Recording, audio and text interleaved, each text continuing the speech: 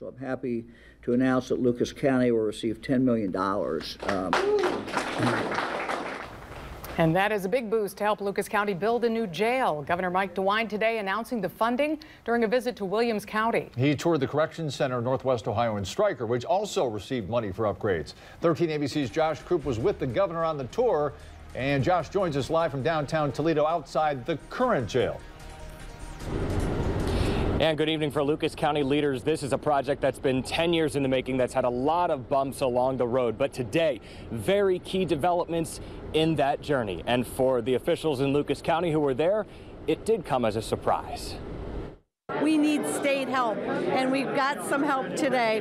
We're thrilled. For officials in Lucas County, Thursday's announcement by Governor Mike DeWine was a welcome surprise. $10 million in state money to help fund a $200 million project to build a new county jail. It's part of $50 million in grants, helping 11 jails across Ohio to make upgrades. Governor DeWine says the state received nearly half a billion dollars in funding requests. To be awarded everything that we asked for, we asked for $10 million, and to get awarded that out of a $50 million pot, that's a significant. The Correction Center of Northwest Ohio in Williams County also getting a significant amount, receiving $4.6 million. DeWine toured the jail in Stryker before announcing the grant awards. Also in Northwest Ohio, Ottawa County leaders received money to study a new multi-county jail for people with mental health needs. And the Hancock County Jail received a quarter million dollars for security upgrades. But Lucas County leaders left feeling like they were the big winners. And when your team wins, you can't just smile. We don't get $10 million wins up here all the time. Officials have been working for a decade to settle on a site and secure funding for a new jail. We're getting close to reality.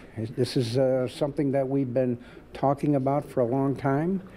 Uh, the jail itself is just not conducive to modern inmate management practices. Officials didn't announce a location for the new jail Thursday. They were eyeing the site of the county's facilities department on Canton Street behind the juvenile court. Commissioner Pete Gerken says they could make an announcement within the next month. We're only going to do this once over the next 40 years. We're not going to, we're going to do it well, but we're not going to shortcut anything. And Gerken says no new taxes are expected to help fund this project. Sheriff Navarre told me today that with this money announced today, they hope to now break ground on the new jail sometime this year and have it opened in September 2026. Reporting live downtown Toledo, Josh Croup, 13 ABC Action News.